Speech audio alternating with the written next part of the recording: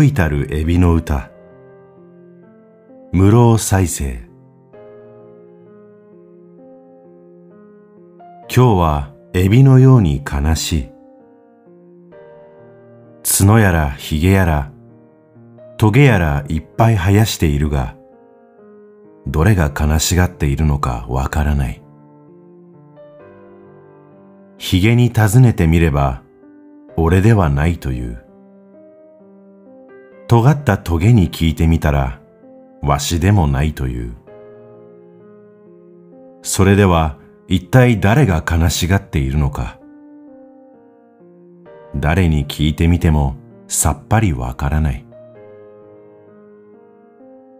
生きて畳を放っているエセエビ一匹。